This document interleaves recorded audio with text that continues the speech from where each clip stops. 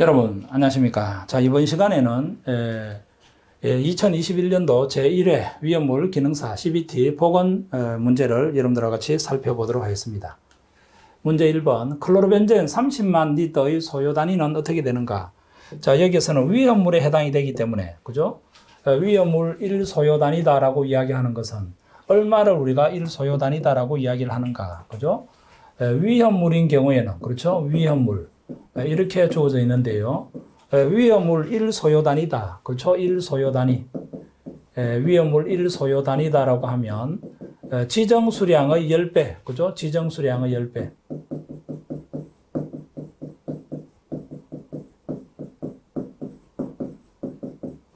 어, 지정 수량의 10배를 우리가 1소요 단위다. 이렇게 정리를 하시면 되겠죠. 무슨 말인지 이해가 되겠습니까? 그죠? 지정 수량의 10배. 그러면 이 클로로벤젠이라고 하면 우리가 제 맨유 위험물에 해당이 되는가? 그죠? 맨유 위험물에 해당이 되는데 지정 수량은 얼마가 되는가? 이렇게 한번 볼까요? 그죠? 클로로벤젠은 제4류 위험물에 해당이 됩니다. 제4류 위험물에. 제4류 위험물을 여러분께서 암기하실 때 턱이랄, 그죠? 턱이랄. 그 다음에 2, 3, 4동이다. 그죠? 2, 3, 4동이다. 이렇게 여러분께서 기억을 하시라고 했죠. 자, 그러면 1석유류, 2석유류, 3석유류는 비수용성이 있다. 그 다음에 수용성이 있다. 그래서 비수로 이렇게 나눠 볼 수가 있다. 그죠? 비수로 이렇게 나눠 볼 수가 있다. 어, 그러면 우리가 여기에서 우리가 지정 수량이라고 하면 우리가 어떻게 외우는가? 5, 2, 4서. 그죠? 5, 2, 4서. 어, 여기에서 천리. 그죠? 천리. 2, 4. 천리, 2, 4, 6만이다. 그렇죠? 천리, 2, 4, 6만이다. 자, 이 의미는, 그죠? 에, 제2석유류 중에서 비수용성은 1000리터, 수용성은 2000리터, 이러한 의미가 되는 것이죠. 그렇죠? 이러한 의미가 되는 것이다. 자, 여기에서 보시면은 2000리터가 아, 이렇게 우리가 정리를 할 수가 있겠죠. 천리, 그죠? 천리, 이사, 6만이다. 이렇게 정리가 되는 것이죠. 어, 그러면 우리가 클로로벤젠은 어디에 해당이 되는가? 그죠? 클로로벤젠은 어디에 해당이 되는가? 자, 여기에서 이 석유류에 대한 내용을 우리가 한번 정리를 한번 해볼까요? 그죠? 이 석유류. 이 석유류 같은 경우에는 우리가 덩경이, 그렇죠? 덩경이 초태서, 덩경이 초태서, 장송에, 장송에 클커, 이렇게 여러분께서 정리를 하시면 되겠죠. 자, 여기에서 우리가 수용성에 해당이 되는 것은 수용성인지 비수용성인지 여러분들께서 구별을 하실 수 있어야 비수용성일 때는 1000리터, 수용성인 경우에는 2000리터라고 볼 수가 있겠죠. 그래서 의산이라든지 초산 이것은 우리가 수용성에 해당이 되는 물질입니다. 그러면 클로로벤젠이라고 하면 여기 나와 있죠. 그죠? 여기에 클로로벤젠. 그러니까 클로로벤젠은 비수용성이 되기 때문에 지정 수량은 1000리터가 되는 것이다. 그래서 뭡니까? 1소요 단위라고 하면 지정 수량의 10배가 되기 때문에 그죠? 10배가 되기 때문에 에, 1000리터, 그죠? 1000리터 곱하기 10배, 그죠? 이게 우리가 1소요 단위가 되겠다. 그러면 30만 리터 같은 경우에는, 그죠? 30만 리터 같은 경우에는 몇 소요 단위에 해당이 되는가? 자, 이렇게 계산을 하게 되면 우리가 30이 나옵니다. 그래서 이 소요 단위 같은 경우에는 30 소요 단위가 되는 것이다. 1번에 2번으로 정리가 되는 것이죠. 그 다음 2번에 소화약제로서 물이 갖는 특성에 대한 설명으로 옳지 않는 것은 예, 물이라고 하는 것은 소화 특성, 물이라고 하는 특성 같은 경우에는 그죠? 에, 비열이 어떻게 됩니까? 비열이 크다. 그죠? 정발 잠열이 어떻게 된다? 정발 잠열이 정발 잠열이 크다. 가격이 우리가 어떻게 되는가? 가격이 저렴하다. 그 다음에 독성이라든지 부식성, 독성이 독성도 독성이 없다. 그죠? 독성이 없다. 그죠? 그 다음에 방사 형태 같은 경우에는, 방사 형태 같은 경우에는 우리가 몇 가지 종류로 나눠볼 수 있는가? 그죠? 세 가지 종류로 나눠볼 수가 있죠. 방사 형태 같은 경우에. 에, 방사 형태 같은 경우에는 우리가 봉상주수라고 하는 것도 있고, 그죠? 그 다음에 적상주수라고 하는 것도 있고, 무상주수라고 하는 것도 있다. 물 분무는 무상주수, 스프링클러하고, 에, 스프링클러하고, 그죠? 드렌처 설비 같은 경우에는 우리가 적상주수, 옥내라든지 옥에는 봉상 주수로 어, 주수를 할 수가 있는 개념이 되는 것이죠. 그래서 우리가 소화 효과 같은 경우에는 냉각 효과가 주가 되는 것이고 이거 외에도 무상 주수를 하는 경우에 이것은 우리가 질식 효과도 갖고 있는 것이죠. 냉각 효과, 질식 효과. 어, 그 다음에 어, 포로 우리가 방사시키는 경우에는 이것은 우리가 유화 효과도 가지고 있다. 그죠? 유화 효과도 가지고 있다. 그래서 이 유화라고 하는 것은 그죠? 유화라고 하는 것은 에, 화재가 일어난 기름 저장 탱크에 우리가 포를 우리가 방사시켰을 때 이 포가 방사되면 이 기름 표면의 온도가 떨어질 거 아닙니까? 맞죠? 온도가 떨어지게 되면 거기에 얇은 막이 형성이 됩니다. 표면에. 그렇죠? 이 표면에 얇은 막이 형성이 되니까 우리가 유화 효과, 즉 공기와 출입을 차단시킴으로 해서 그죠? 공기와 출입을 차단시킴으로 해서 우리가 뭐 어떠한 효과를 얻을 수가 있는가? 질식 효과를 우리가 얻을 수가 있는 그 같은 개념이 되는 것이죠. 유화 효과도 기대할 수가 있다. 정발 잠열이 크다. 그죠? 정발 잠열이 크다. 기화 팽창률이 크다. 질식 효과가 있다. 용융 잠열이 커서 용융 잠열이 아니라 그죠? 용융 잠열이 아니라 여기에서는 우리가 기화 잠열이다 이렇게 말을 바꾸셔야 됩니다.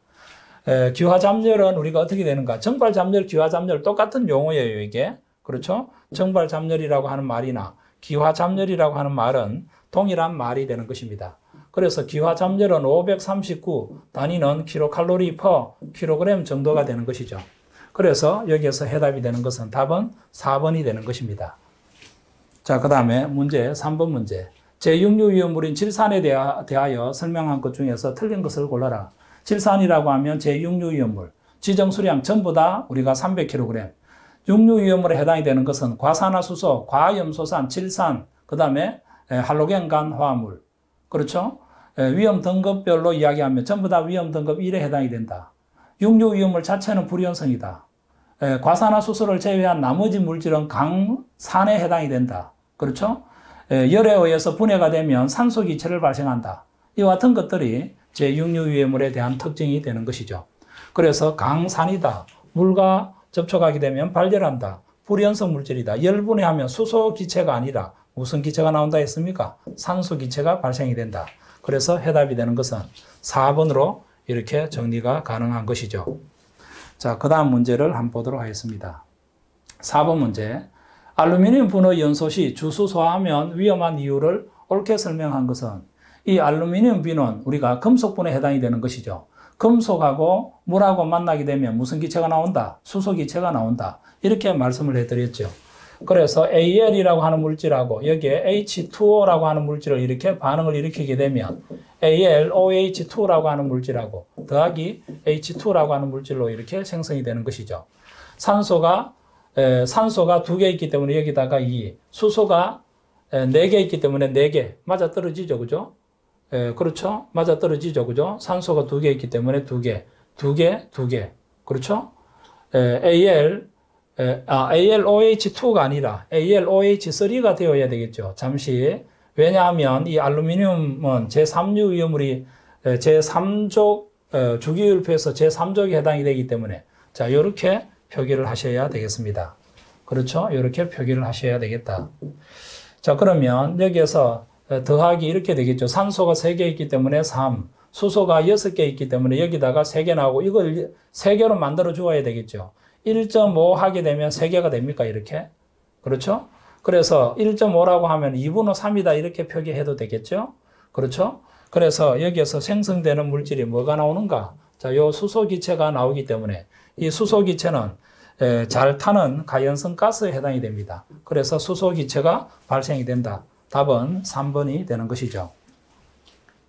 자, 그 다음 정린과 5항아리의 공통 연소 생성물은 무엇인가? 정린을 우리가 P라고 이야기를 하고 5항아리인을 우리가 P2S5다라고 이야기합니다. 자, 이것을 우리가 태워보면 되겠죠. 자, P는 무조건 산소하고 만나서 P2O5가 나온다. 그죠? P2O5가 나온다. 자, 그러면 5항아리인 같은 경우에는 산소하고 이렇게 만나서 P는 산소하고 만나서 무조건 P2O5가 나온다. S는 산소하고 만나서 무조건 SO2가 나온다. 자, 여기에서 무조건이라고 하는 의미는 에, 뭡니까? 완전 연소라고 하는 개념으로 여러분께서 정리를 하셔야 되겠죠. 완전 연소.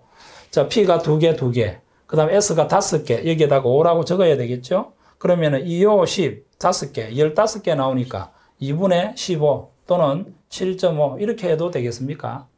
그렇죠? 그래서 결국 여기에서 이야기하고자 하는 것은 연소 생성물은 여기에서 P2O5가 나온다. 그렇죠? 여기에서도 P2O5가 나온다. 이게 같은 물질 아닙니까? 그렇죠? 그래서 여기에서 해답이 되는 것은 우리가 P2O5 해답이 되는 것은 3번이 해답이 되는 것이다. 이렇게 정리를 해 놓으시면 되겠죠.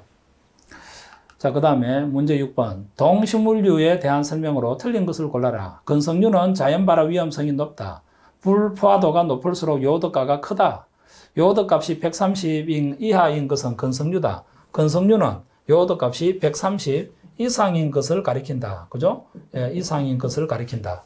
그래서 잘못된 것은 3번이 잘못된 용어가 되는 것이죠. 그 다음 문제 7번. 위험물 안전관리법 시, 도의 조례가 정하는 바에 따라 관할 소방서장의 승인을 받아 지정 수량 이상의 위험물을 임시로 지정 수량 이상의 위험물을, 그죠? 지정 수량, 지정 수량 이상의 위험물을 임시로 제조소가 아닌 장소에 취급할 수 있는 것은 며칠 이내의 기간 동안 취급할 수 있는가? 자, 우리가 아파트를 짓는 그러한 공사 현장 같은 경우에는 우리가 포크레인이라든지 또는 불도저, 연료용으로 우리가 어, 경유를 저장할 수가 있겠죠. 이 경유를, 그죠? 제조소, 어, 이와 같은 현장 같은 경우에는 제조소 등에 해당이 되지 않는 것이죠. 그래서 그와 같은 경우에는 우리가 임시로 저장할 수 있는 경우에는 우리가 90일 동안 저장할 수가 있다. 이렇게 정리를 하셔야 되겠습니다. 그래서 여기에서 해답이 되는 것은 우리가 7번에 3번이 되는 것이다. 자, 그 다음 문제를 보도록 하겠습니다. 제2류 위험물과 제5류 위험물의 공통적인 성질은 제2류 위험물은 가연성 고체, 제5류 위험물은 자기 반응성 물질, 이 둘 다 가연성 물질에 해당이 되는 것이죠. 그래서 해답이 되는 것은 답은 가연성 물질이다. 그렇죠? 이렇게 정리를 하시면 되겠습니다. 자, 그 다음 문제를 보도록 하겠습니다. 위험물 안전관리 법령에 근거한 위험물 운반, 그죠? 위험물 운반 수납 시 주의사항에 대한 설명 중에서 틀린 것을 골라라. 위험물을 수납하는 용기는 위험물이 누출되지 않게 밀봉시켜야 한다. 맞는 말이 되겠죠? 그렇죠? 맞는 말이 되겠죠? 그렇죠? 그 다음에 온도 변화로 가스 발생 우려가 있는 것은 가스 배출구를 설치한 운반 용기에 수납할 수가 있다. 액체 위험물은 운반 용기 내 용적의 98% 이하의 수납률로 수납하되 55도씨의 온도에서 누설되지 않도록 충분한 공간 용적을 유지하여야 한다. 맞는 말이죠. 고체 위험으로 운반 용기는 내 용적, 고체 같은 경우에는 98%가 아니라 내 용적 95% 이하의 수납률로 수납을 해 주어야 되겠다. 그렇죠? 해답이 되는 것은 잘못된 것은 답은 4번이 되는 것이다. 어, 그 다음에 문제 10번 위험물 안전관리 법령상 소화설비의 설치 기준에서 제조소 등의 전기설비, 그죠? 전기설비가 설치된 경우에는 해당 장소의 면적 몇 제곱미터마다 소형 수도식 소화기를 한 개 이상 설치를 하여야 하는가? 어, 여기에서 뭡니까? 전기설비다라고 하는 내용이 나오면 이것은 해당 장소 면적의 100제곱미터가 되는 것입니다. 그렇죠? 어, 여기에서 해답이 되는 것은 100제곱미터, 그죠? 100제곱미터마다 소형 수동식 소화기를 설치를 해 주어야 되겠다. 소형 수동식 소화기라고 하면 우리가 능력 단위 1단위 이상으로서 대형 수동식 소화기 능력 단위 미만인 소화기를 우리가 소형 수동식 소화기다. 이렇게 이야기를 할 수가 있겠죠. 그래서 소화기 같은 경우에는 소형 수동식 소화기가 있고 대형 수동식 소화기가 있는데 소형 수동식 소화기라고 하면 능력 단위 1단위 이상으로서 대형 수동식 소화기, 능력 단위 미만인 소화기를 우리가 소형 수동식 소화기다. 그렇다면 대형 수동식 소화기다라고 하면, 그죠? 사람이 운반할 수 있도록 바퀴 또는 운반대가 설치되어 있는 것으로서, 그죠? A급 같은 경우에는 10단위 이상, B급 같은 경우에는 20단위 이상인 능력을 가지고 있는 소화기를 대형 수동식 소화기다. 이렇게 생각을 하시면 되겠습니다. 소형 수동식 소화기의 거리는 20m, 대형 수동식 소화기의 거리는 30m 이내로 설치를 해 주어야 될 것이다. 이러한 기준이 소화기에 관련되어 있는 내용이 되는 것이다. 그래서 여기에서 해답이 되는 것은 답은 3번이 되는 것이죠. 그렇죠? 기타에 대한 내용을 고려를 해 주어야 되겠다. 11번에 탄소 1몰이 완전 연소하는데 필요한 최소 이론 공기량은 약 몇 리터가 되겠는가? 공기의 농도는 부피 퍼센트로 여기에서 볼륨, VOLUM이 그죠? 여기에서 VOLUM이 볼륨이라고 하면 우리가 부피를 우리가 볼륨이라고 이야기를 할 수가 있겠죠. 부피로 우리가 몇 리터가 되겠는가? 그러면 여기에서 우리가 이론 공기량 계산하는 공식은 우리가 어떻게 되는가? 이론 공기량 계산하는 공식은 자 그러면 이론 공기량 계산하는 공식은 우리가 이론 공기량을 우리가 A0라고 이야기할 때 A0는 공기 중에 산소가 차지하고 있는 농도 0.21분의 O0 여기에서 O0라고 하면 이론 산소량을 가리키는 것입니다. 이론 산소량 이론 산소량 그렇죠? 이것을 우리가 이론 산소량이다. 자 그러면 탄소를 우리가 한번 태워보도록 하겠습니다. 이론 산소량을 계산하기 위해서는 탄소를 태워보면 CO2가 되겠죠 이렇게 그러면 탄소 1몰이 연소했을 때 발생이 되는 뭡니까? 탄소 1몰을 연소시켰을 때 발생이 되는 산소는 1몰이니까 모든 물질 1몰은 그 부피가 22.4리터 이렇게 생성이 되는 것이죠. 그래서 여기에서 22.4리터라고 하는 이 의미가 이것이 우리가 뭐가 되는가? 이론 산소량이 되는 것이죠. 그래서 결론적으로 이론 공기량 A0라고 이야기할 때 A0는 우리가 어떻게 계산을 할 수가 있겠는가? 그죠? 분모에는 0.21을 그대로 대입을 시키고 분자에는 22.4, 그죠? 22.4리터를 이렇게 대입을 하게 되면 이렇게 했을 때 값이 나오겠죠. 그렇죠? 이렇게 하게 되면 제가 문제를 해답을 구해 보니까 이 값이 얼마 나오는가 하면 106.67이 나옵니다. 106.67. 에, 그래서 여기에서 우리가 이퀄 관계로 보면 이퀄 관계로 보면 106.67이 나오니까 여기에 107 정도가 답이 되는 것이죠. 가장 근접한 숫자가 해답이 되는 것이다. 이렇게 정리를 해 놓으시면 되겠죠. 그 다음에 12번에 옥내 소화전 설비의 비상 전원은 자가 발전 설비 또는 축전지 설비 로 어, 옥내 소화전 어, 설비를 유효하게 몇 번 이상 작동할 수 있어야 되는가? 우리가 위험을 안전관리법에 규정이 되어 있는 내용은 여기에서 우리가 45분입니다. 비상전원의 용량은 45분으로 여러분께서 기억을 해 두셔야 되겠죠. 비상전원, 그저 45분 동안 전기를 발생시킬 수 있는 그와 같은 설비를 비상전원으로 우리가 설치를 해 주어야 되겠다. 비상전원 같은 경우에는 자가발전 설비, 축전제 설비, 그죠? 에, 어, 그죠? 이와 같은 것들이 우리가 비상, 뭡니까? 전원에 해당이 되는 것이다. 자가 발전 설비, 그죠? 그 지역에 그 건물에 발전기가 있겠죠. 그렇죠? 발전기를 우리가 정전이 되었을 때 뭡니까? 자가로 발전을 하는 그와 같은 설비. 그럼 축전지 설비라고 하면 우리가 자동차 배터리와 같이 그죠? 전기가 축적되어 있는 것을 우리가 이야기하는 것이죠. 이것을 우리가 비상 전원으로 활용하고 있는 것이다. 이렇게 보시면 되겠습니다. 자, 그 다음에 13번 문제. 정전기를 유효하게 제거할 수 있는 설비를 설치하고자 할 때 위험을 안전관리 법령에 정한 정전기 제거 방법의 기준으로 옳은 것은 상대습도 70% 이상을 유지한다. 공기 중에서 상대습도 70% 이상으로 하는 방법이다. 이렇게 여러분께서 정리를 하셔야 되겠죠. 옳은 것은 13번에 1번이 되는 것이죠. 이 정전기라고 하면 정지되어 있는 전기로서, 그죠? 정전기를 일으킬 수 있는 발생 원인 같은 경우에는 뭐 어떠한 경우가 있는가, 그죠? 발생 원인 같은 경우에는 정전기를 발생시킬 수 있는 요인은, 그죠? 에, 우리가 마찰 대전이라든지, 그죠? 방리 대전이라든지, 그죠?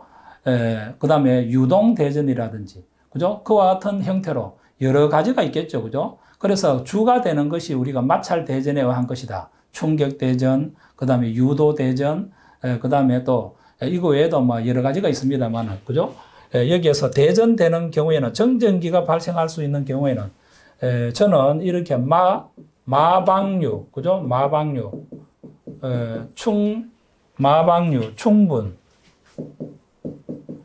유, 유비, 적침, 유비, 적침 부, 유비, 적침,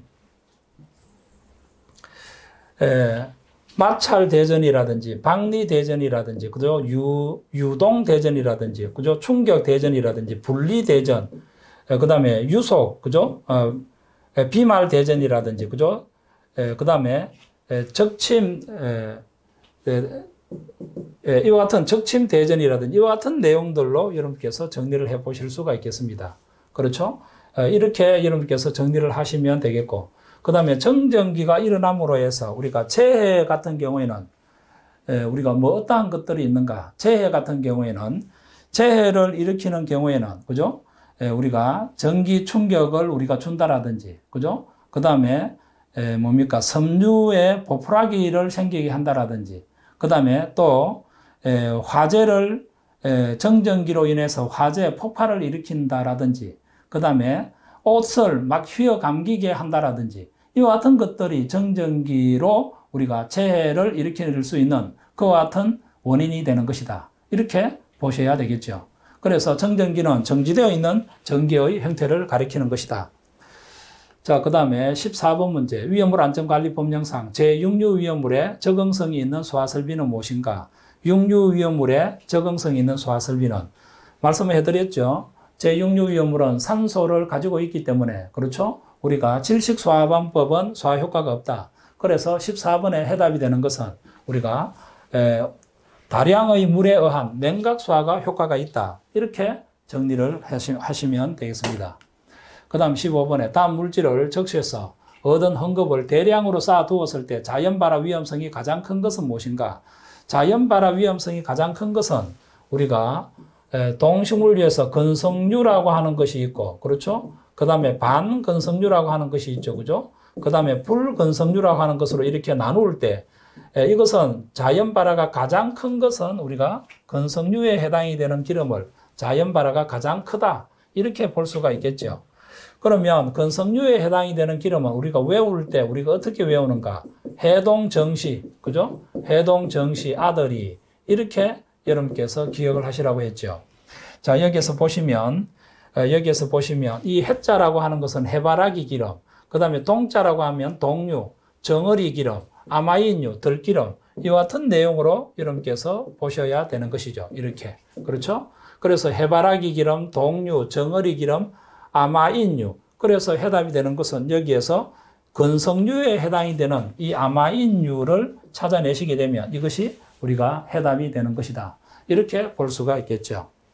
자, 그 다음에 16번. 제4류 위험으로 일반적인 성질에 대한 설명 중에서 가장 거리가 먼 것은 제4류 위험물은 인화성 물질을 가리키는 것이죠. 그죠? 예, 그래서 인화되기 쉽다. 인화점, 발화점이 낮은 것은 위험하다. 맞는 말이죠. 전기는 대부분 공기보다 전기는 대부분 공기보다 무겁다. 이렇게 되어야 되겠죠. 그죠? 예, 무겁다. 이렇게 정리를 해 두셔야 되겠습니다. 그래서 잘못되은 것은 답은 3번이 되는 것이죠. 액체의 비중은 대체로 물보다 가볍고 물 위에 떠죠. 그죠? 물에 녹기 어려운 것들이 많다. 맞는 말이죠. 우리가 수용성인 위험물은 몇 개 되지 않, 겠죠 그렇죠? 자, 그 다음에 17번 문제. 금속 칼륨에 관한 설명 중에서 틀린 것을 골라라. 이 칼륨은, 그죠? 우리가 제3류 위험물에서 금수성 물질에 해당이 되는 것으로서 물과 만나서 우리가 수소 기체를 발생하고 있는 것이고 금속 칼륨은 물은 경금속에 해당이 되는 것이고 칼로 자를 수 있는 내용이 되는 것이다. 연에서 칼로 자를 수가 있다. 맞는 말이죠. 그죠? 그 다음에 물 속에 넣었을 때 서서히 녹아 탄산 칼륨이 된다. 물 속에 넣었을 때, 그죠? 물 속에 넣었을 때, 어, 뭡니까? K하고 반응을 해서 수소 기체를 발생하고 있는 것이다. 그래서 탄산 칼륨이 되지 않고, 그렇죠? 자, 그 다음에 공기 중에서 빠르게 산화하여 피막을 형성하고 광택을 잃는다. 등류, 경류, 보호액 속에 저장을 한다. 자, 맞는 말이 되는 것이죠. 18분에 제1인산암모늄 분말 소화약제 색상과 적응 화제를 옳게 나타낸 것은 분말 같은 경우는 1종에서 4종까지가 나와 있죠. 그래서 제3종 분말은 제1인산 암모늄 그래서 소화 효과는 ABC급 착색되어 있는 색깔은 에, 에, 에, 담 어, 뭡니까 담홍색으로 착색이 되어 있죠. 그죠? 소화 효과는 A급, B급, C급으로 이루어져 있고 에, 뭡니까 주된 뭡니까 소화 약제는 NH4H2PO4가 되는 것이다. 그렇죠? 자, 그래서 우리가 착색되어 있는 색깔은 담홍색이다. 그러면 담홍색이고 ABC급의 소화 효과가 있다. 해답이 되는 것은 18번에 4번이 되는 것이다. 자, 그 다음에 19번 문제. 할로겐 화물 소화약제의 구비 조건으로 틀린 것을 골라라. 전기 절연성이 우수해야 된다. 공기보다 가벼워야 되는 것이 아니라 공기보다 무거울 것, 그죠? 공기보다 무거울 것 이렇게 바꾸셔야 되겠죠.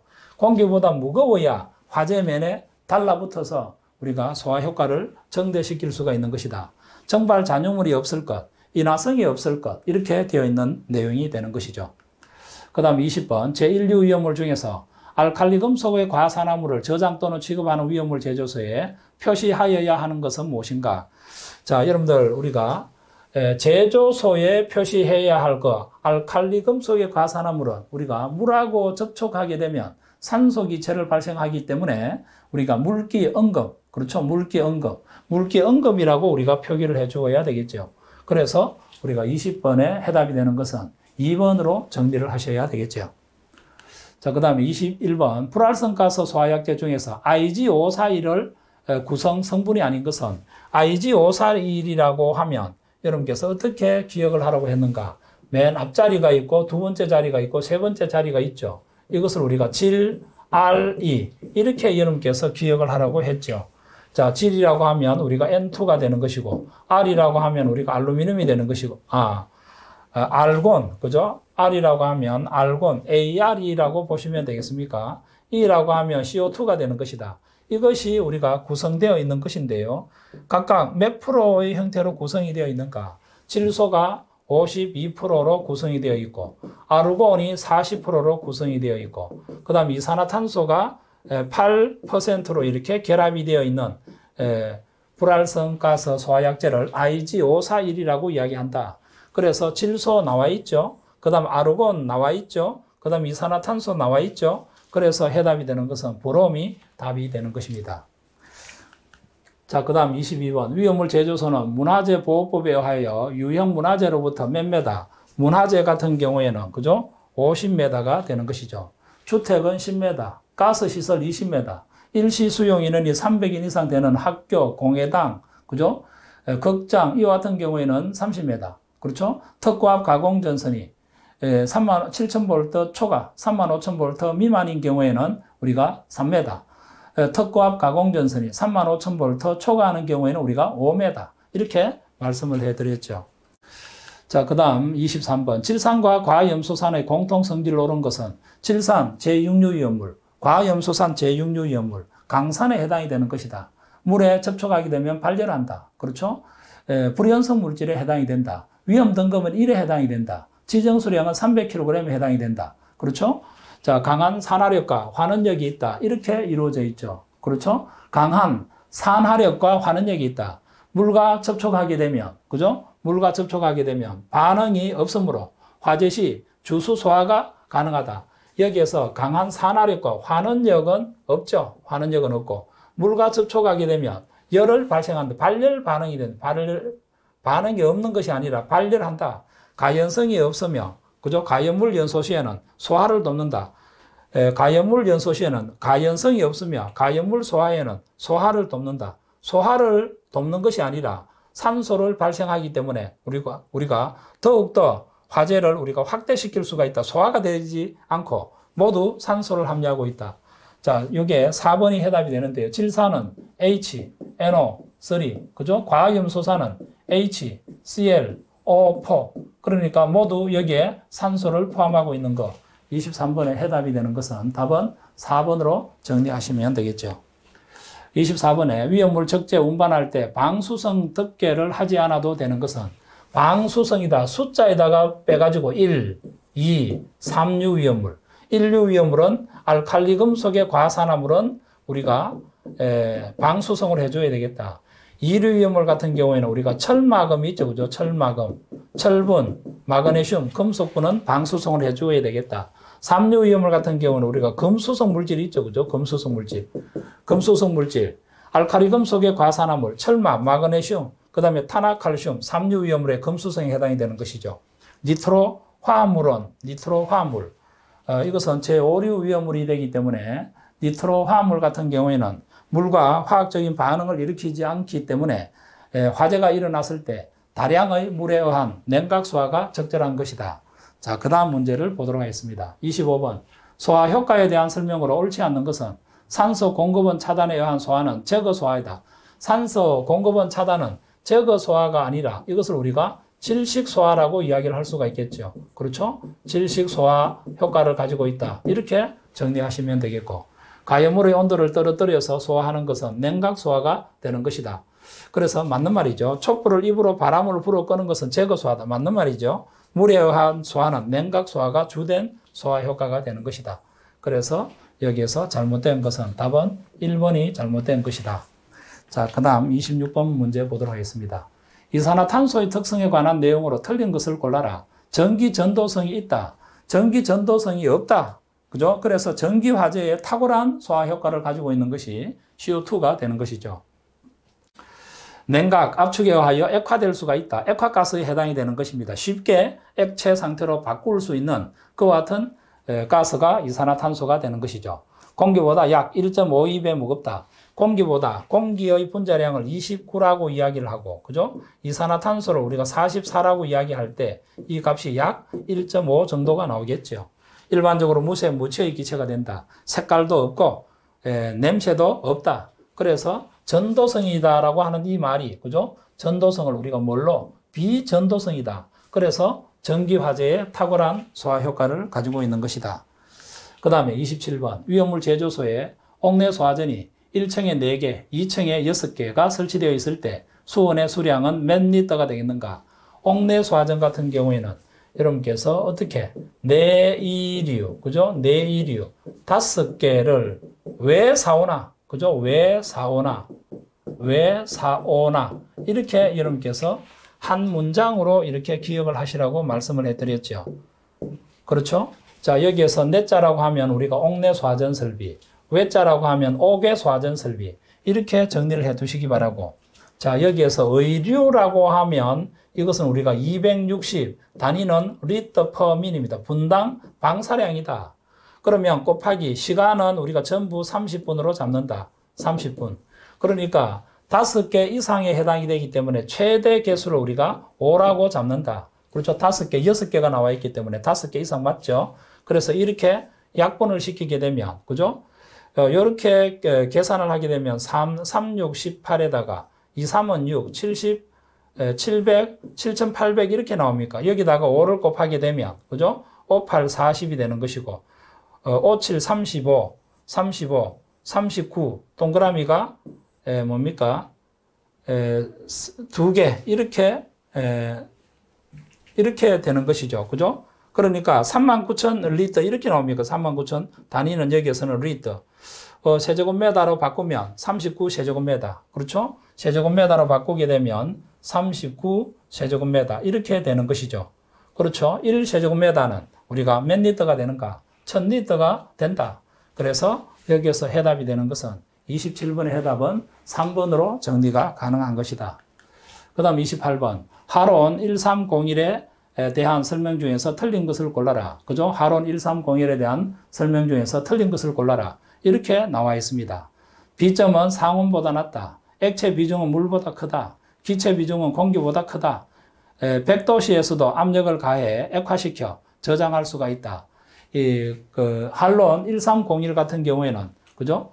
100도씨에서 압력을 가해 액화시킬 수가, 액화시킬 수, 액화시켜 저장할 수가 있다. 이렇게 이루어져 있는데요. 이 할론 1301 같은 경우에는 우리가 기체 상태로 존재하고 있는 것이다. 이렇게 상온에서 기체가 되는데 상온에서 그렇죠? 하론 1301이다라고 이야기하는 것은 하론 1301이다라고 이야기하는 것은 그죠? 상온에서 온도가 상온에서 우리가 무슨 상태로 존재하고 있는가? 기체 상태로 존재하고 있다. 그러면 100도씨 이상이 100도씨에서는 당연히 기체 상태가 되는 것이죠. 에, 틀린 것은 우리가 4번이 틀린 것이다. 에, 할로겐 암물 소화약제 중에서 그죠? 하론 2402가 있고, 그죠? 2402가 있고, 그 다음 1211이 있고, 그 다음 1301이 있는데요. 자, 여기에서 요것은 상온에서 액체, 상온에서 기체 상태로 존재하고 있습니다. 요거는 상온에서 기체 상태로 존재하기, 존재하고 있는 것이고, 요거는 상온에서 우리가 액체 상태로 존재하고 있는 물질입니다. 할론 2402 같은 경우에. 그래서 요 내용을 여러분께서 알고 계시는가? 예, 그래서 질문을 하는 그와 같은 문제인 것 같습니다. 그 다음에 29번 문제. 점화원의 역할이, 역할을 할 수 없는 것은 무엇인가? 점화원이라고 하면 예, 우리가 나고, 점 나고, 충전, 점 나고, 충전, 단정 복자다. 그죠? 점 나고, 충전, 단정 복자. 이렇게 우리가 볼 수가 있겠죠. 나화라고, 어, 예, 낮자라고 하면 우리가 나화를 가리키는 것이고, 고열물을 가리키는 것이고, 그 다음에 충격에 의한, 그죠? 충격에 의한, 예, 충격에 의한 불꽃을 우리가 예, 가리키는 것이고, 그렇죠? 그 다음에 전기, 전기 점화원이 있겠죠. 그죠? 전기 점화원. 그렇죠? 전기적인 점화원이 있겠고, 그 다음에 단열, 압축열. 그죠? 단열, 압축열. 예, 단열, 압축열도 우리가 점화원에 해당이 되는 것이다. 이것은 우리가 정전기가 됩니다. 정전기. 그 다음에 복사열이 되겠죠. 그죠? 점 나고 충전, 단정 복자, 복사열. 그죠? 복사열. 자, 이것은 자연 발화가 되는 것입니다. 자연 발화. 그렇죠? 스스로 불이 붙는 이것도 에, 이렇게 우리가 이야기를 할 수가 있겠다. 그래서 여기에서 정, 어, 뭡니까? 점화원에 해당이 되는 것은 이와 같은 물질들로 이루어져 있는 것이다. 그죠? 이와 같은 물질들로 이루어져 있는 것이다. 그러면 여기에서 정기적인 점화원 같은 경우에는 또 어떠한 내용이 여기에 해당이 되는가? 그죠? 정기적인 점화원 같은 경우에는 뭐 어떠한 것들이 있는가? 어, 정, 과단 진우, 그죠? 과단 진우, 접서절, 그죠? 에, 접서절, 접서절, 열정락, 그죠? 열정락. 이렇게 우리가 정리를 할 수가 있겠습니다. 이것이 정기적인 점화원이 됩니다. 에, 과자라고 하면 과열, 열이 많이 발생했을 때, 그죠? 단락, 단락이라고 하면 선이 두 가닥이 달라붙는 합선을 가리키는 것이죠. 지락을 가리키는 것이고, 누전을 가리키는 것이고 접촉 불량이 되는 것이죠. 접촉 불량. 그렇죠? 접촉 불량으로 이렇게 정리를 하시면 되겠고. 자, 이것은 우리가 스파크가 되는 것이고 절연 열화. 그죠? 절연 열화. 이 절연 열화라고 하면 전기 내부에 전선이 어, 구리선이 있죠. 이 구리선을 감싸져 있는 플라스틱과 같은 그와 같은 것을 절연물이라고 이야기를 합니다. 이 절연물이 그죠? 에, 오랜 시간이 에, 지나게 되면 우리가 에, 정기적으로 또는 화학적으로 또는 물리적으로 변화가 생겨버려요. 그래서 기존에 처음에 생산되었던 그와 같은 고유한 절연성을 잃어버리는 그와 같은 상태를 절연 열화라고 이야기하는 것이죠. 그 다음에 열적 경과, 그죠? 열적 경과. 이 열적 경과라고 하는 의미는, 그죠? 열적 경과라고 하는 의미는 열이 축적이 되어서 시간이 지나게 되면 자동적으로 발화가 일어나는 그와 같은 경우라고 보시면 되겠습니다. 그러면 여기에서 정전기라고 이렇게 나와 있고, 그 다음에 낙내. 그래서 제가 여러분들 여기에서 보시면 정전기 여기에도 나와 있고, 여기에도 나와 있지 않습니까? 그렇죠? 그래서 전기적인 점화원에도 정전기가 포함이 되어 있다. 그래서 점나고 충전 단정복자. 자, 여기에서 나화라고 하면 무엇을 우리가 나화라고 이야기하는가?